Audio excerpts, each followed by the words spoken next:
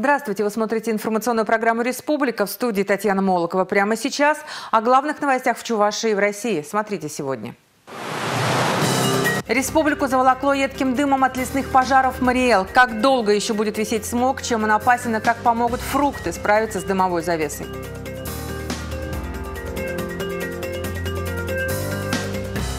Прокуратура начала проверку после сюжета в программе «Республика». Почему убрать мусор можно только после вмешательства журналистов?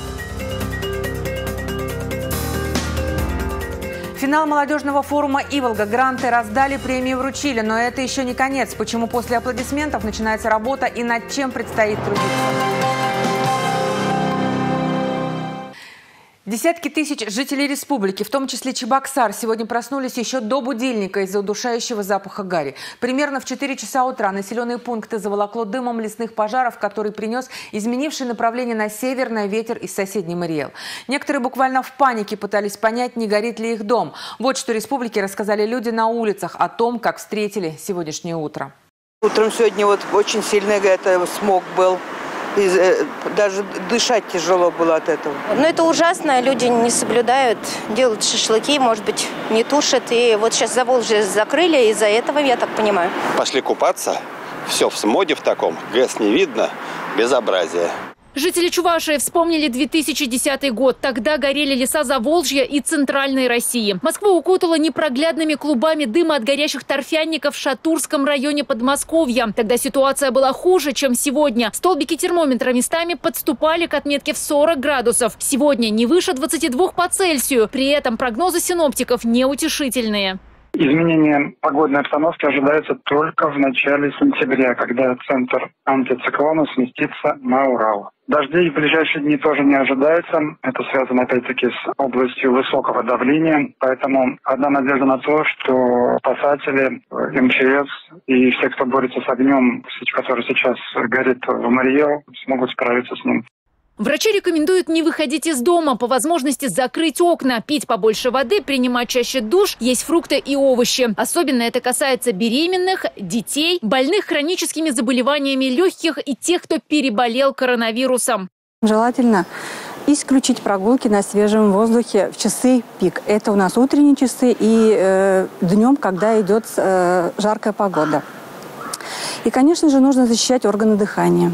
В регионе сохраняется режим повышенной пожарной опасности. За разведение костров, в том числе на личных участках, выписываются штрафы. Гражданам обратились и представители регионального МЧС. С раннего утра в столице Чувашии, городе Новочебоксарск, а также на территориях Чебоксарского, Мариинско-Посадского и Козловского районов республики наблюдается задымление. Причиной образования смога стал ветер, несущий дым из горящих лесов соседней Мариэл. Необходимо учитывать, что наибольшие затруднения задымление может вызывать в утренние и вечерние часы, когда смог концентрируется в приземном слое. К полудню земля прогреется и под воздействием восходящих потоков воздуха дым поднимется вверх. На сегодняшний день ликвидация очагов природных пожаров Республики Мариэл продолжается настоящее время площадь активного горения составляет 34 гектара. В тушении задействованы 175 единиц техники и около 1 тысячи человек. Обращаюсь к гражданам нашей республики воздержаться от посещения лесов, быть осторожными и о каждом случае возгорания, если будут обнаружены, сообщить нашей диспетчерской службе. При этом спасатели обращаются к тем, кто все-таки решит открыть окна и проветривать квартиры, особенно на высоких этажах. Предельно внимательно следить за малолетними. Татьяна Трофимова, Вадим Муравьев, Ева Крутова, Юрий Марков, Республика. Всего за уходящее лето в республике зарегистрировано 1104 пожара, в которых погибли 63 человека, в том числе четверо детей. При этом в последние годы серьезно обновляется парк пожарной техники. За пять лет для противопожарной службы Чуваши закуплено почти три десятка автоцистерн и другое оборудование, которое позволяет бороться с огнем, в том числе на высоких этажах зданий. Какая еще может быть машина, если не красная? В пожарной части номер 32 пополнение в автопарке. Автоцистерна и автолестница. Две в одной. Хорошая современная машина. Заменяет сразу две спецтехники, можно сказать, и автоцистерну, и лестницу в одной машине тут э, представлено. И современно мощные, насосы современные, мощные. И пожарным работать на ним легче тушить на высотных зданиях, например, на высоте до пятого этажа. Первым делом на новой машине не красоваться по улицам города. Первым делом проверка, что называется, боем. Пожарные приехали в детский сад, отрабатывали слаженность действий. Теперь бороться с огнем без знания компьютера никак. Чтобы научиться выдвигать лестницу, казалось, чего уже проще. Ездили обучаться в соседнюю республику. В Татарстане такие машины на посту уже несколько лет.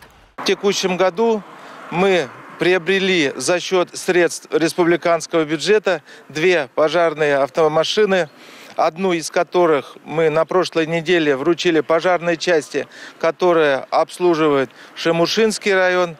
И вот сегодня добротный новый автомобиль комплексный, где у нас сочетается и пожарная автоцистерна, и автолестница для обслуживания Красноармейского района – в текущем году в Красноармейском районе произошло 16 пожаров, погибли два человека. Основные причины – неосторожное обращение с огнем. В бою все средства хороши. Меры профилактики можно также отнести к классу эффективных инструментов – учения МЧС, готовность к эвакуации учреждений и, конечно же, предупреждение об опасности. Мы ежедневно занимаемся, проводим работу по приемке образовательных учреждений к новому учебному году.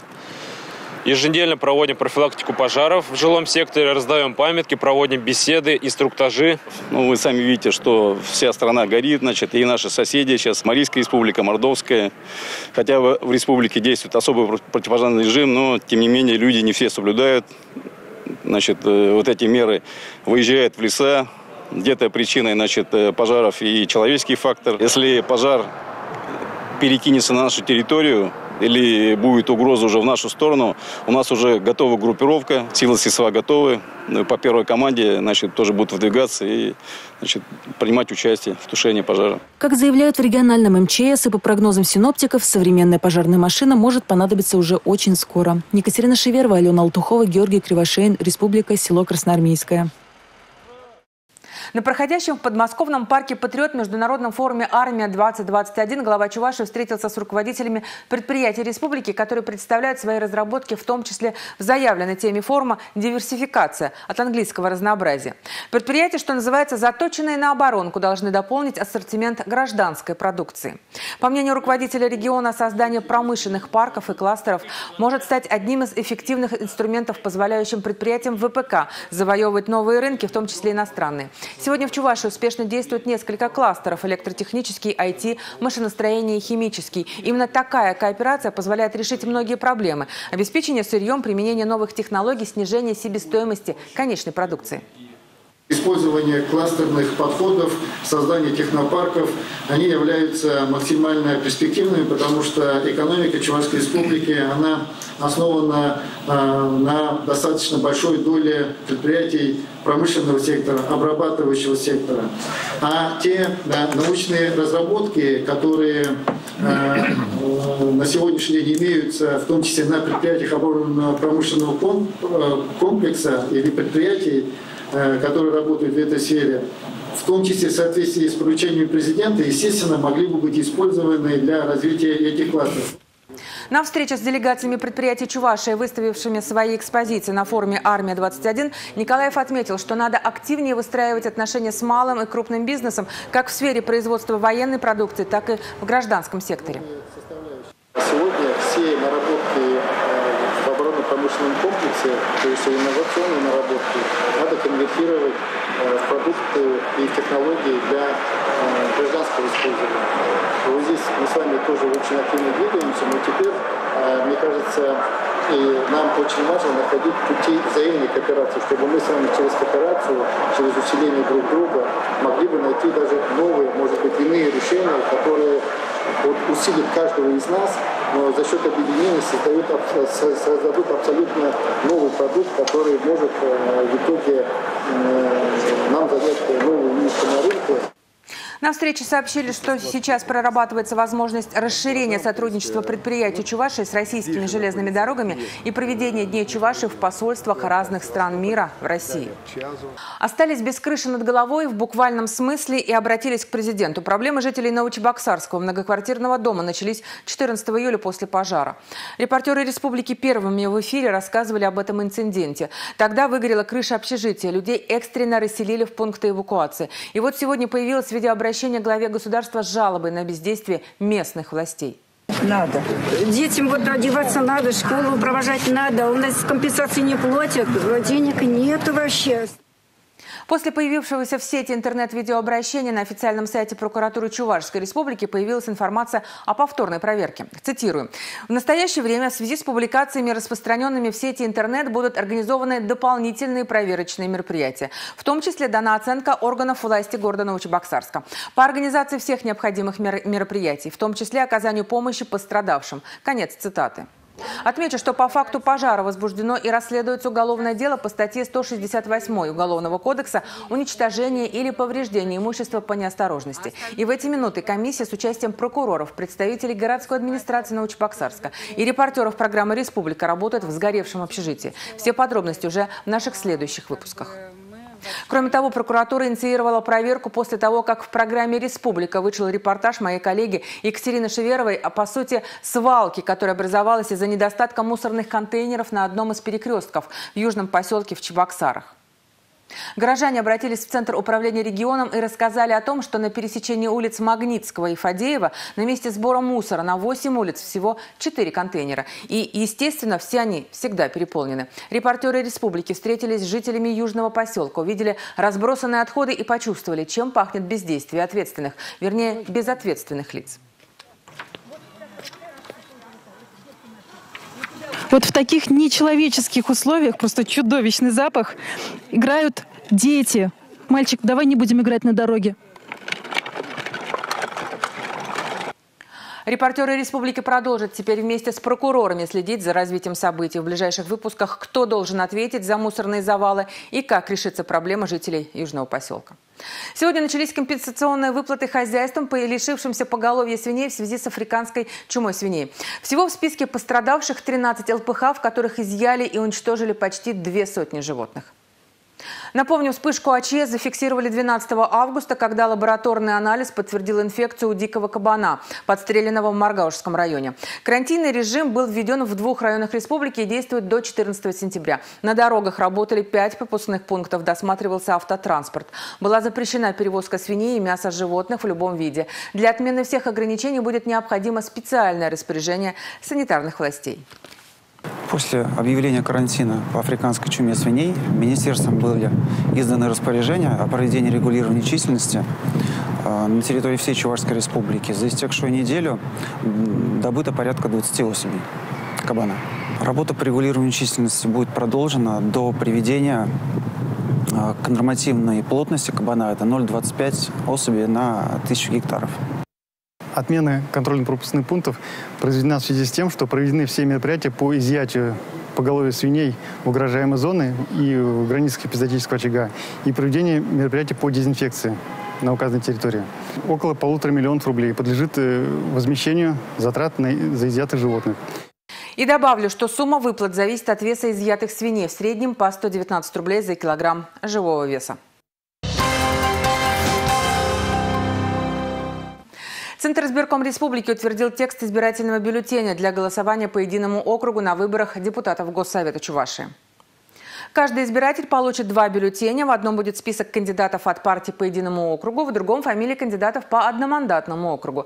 Напомню, что на выборах в парламент республики Чувашия поделена на 22 одномандатных округа. Также бюллетени для голосования на выборах депутатов Государственного совета будут переведены на чувашский язык.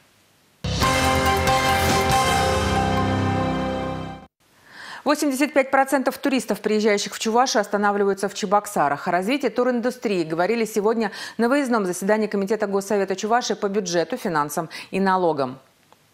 Более 800 миллионов рублей такой бюджет туристической отрасли на три года.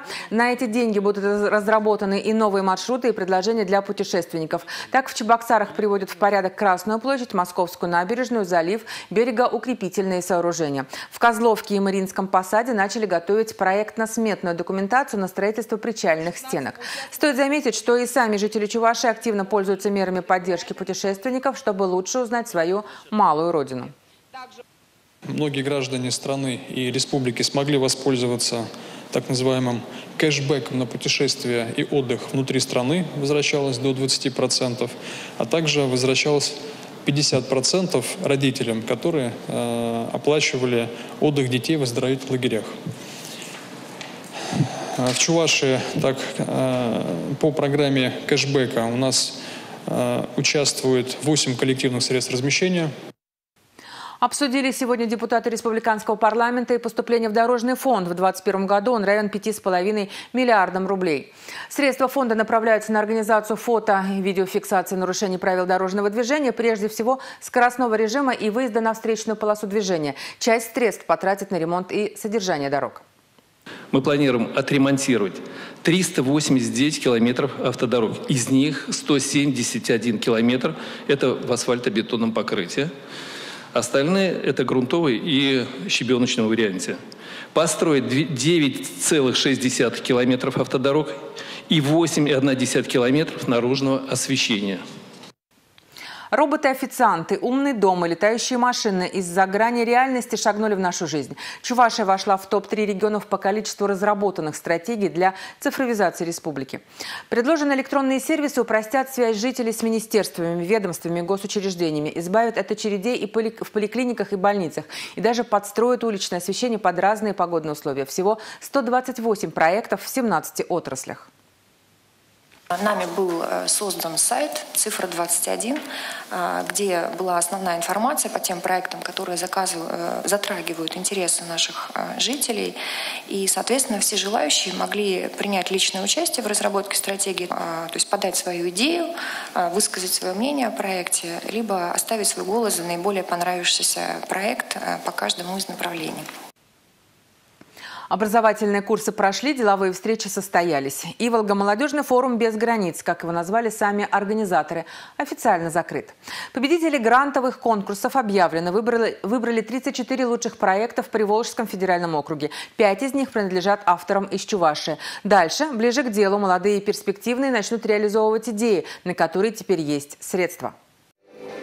Добровольчество, лидерство, медицина, экология и даже политика и бизнес – это только часть направлений, по которым были представлены проекты на молодежном форуме Приволжского федерального округа «Иволга». Второй год подряд он прошел в онлайн-формате из-за пандемии, но на креативности идей это никак не сказалось. Владислава Смирнова придумала, как обратить внимание молодежи на экологические проблемы родного края, страны и всей планеты, без едва ли не экстремистских призывов в стиле Греты Тумберг. На создание специальной лаборатории она получила грант в размере 650 тысяч рублей от Федерального агентства «Росмолодежь». На самом деле очень волнительно до сих пор. Не верится, руки трясутся. Необычные эмоции, так скажем. Даже щечки онемели. Фишка такого моего проекта то, что люди, а, которым мы как скажем так, дадим базовые знания об экологии, о правильном обращении с вторсырьем, бумагом, металлом, пластиком, а будут передавать свои знания дальше. Студентка шестого курса медицинского факультета Анастасия Капитонова собирается обучать волонтеров-медиков азам первой помощи в районах республики. На это у нее теперь есть 200 тысяч. Как все участники, я очень переживала, и казалось, что ну, защита прошла не так, как хотелось, не так, как планировалось.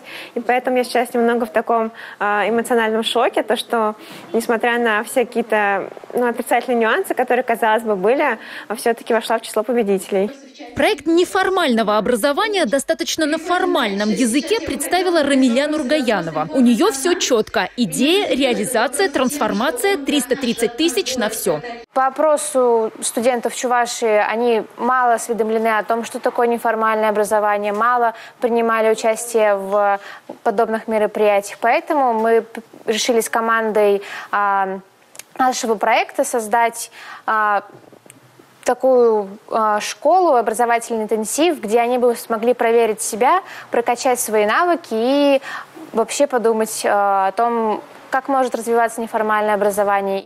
Отличилась и команда «Пупсики» из Чувашии. Программа «Республика» уже рассказывала, как она сражалась за столом что, где, когда в молодежном чемпионате Приволжского федерального округа. Третье место – заслуженная бронза. И доказательство того, что даже те, кто называет себя пустоголовым пластиковым пупсом, могут креативить и отвечать на самые каверзные вопросы не только ведущего, но и самой жизни. Татьяна Трофимова, Юлия Дюкова, Павел Ракитин, «Республика».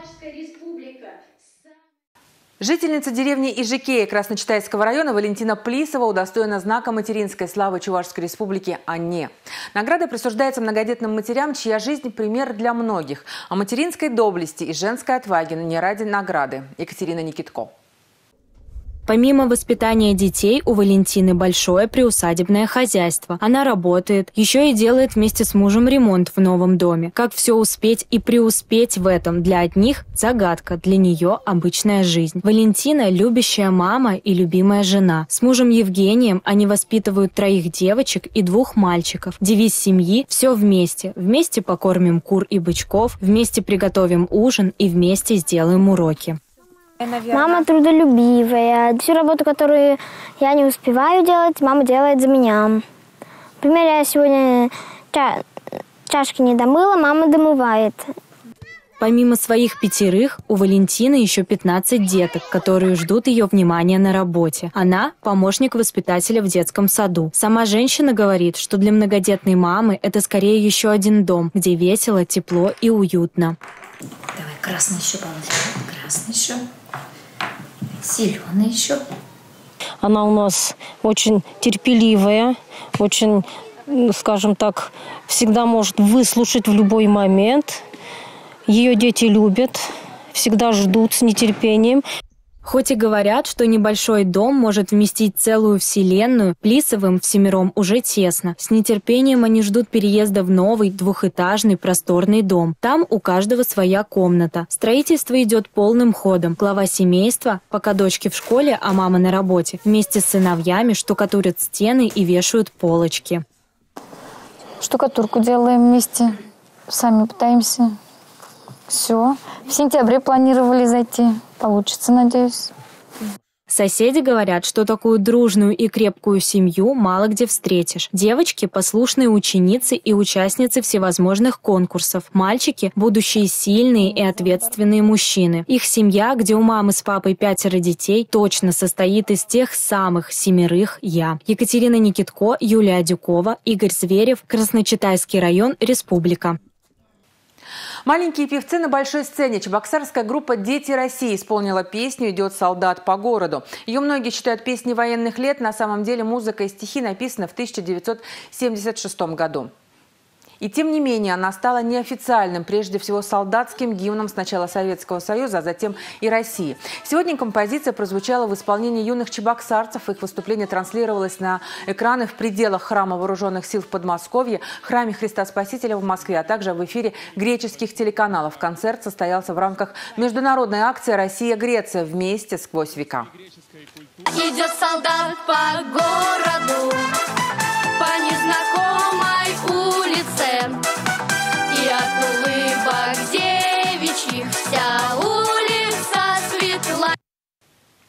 И в конце выпуска еще раз о погоде. В ближайшие дни ее характер в регионе не изменится. Сохранится переменная облачность, местами возможны кратковременные дожди. И наша телекомпания объявляет кастинг ведущих прогноза погоды. В ближайший четверг, 26 августа в 19 часов 30 минут по адресу проспект Ленина, 15. Здесь находится наша редакция и пройдет кастинг ведущих. Вы обаятельны, у вас хорошая дикция, и сказав всего одну фразу в эфире «Прогноз погоды», вы можете приковать к себе внимание. Тогда мы ждем именно вас. Подробности по телефону редакции 8 926 21 5 21 21. Я Татьяна Молокова, на этом с вами прощаюсь. Дерзайте, и у вас все получится. До встречи.